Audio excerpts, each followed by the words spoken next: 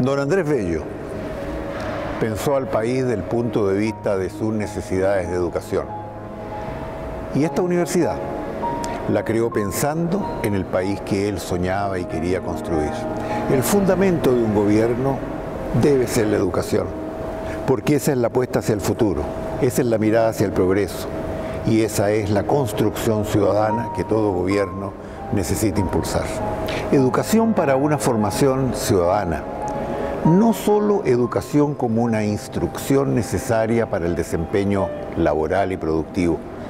La educación forma personas. Hoy día, Chile, que enfrenta una crisis política e institucional, debe mirar nuevamente a los fundamentos de la educación para formar personas y ciudadanos con una mirada que sea constructiva hacia el futuro del país.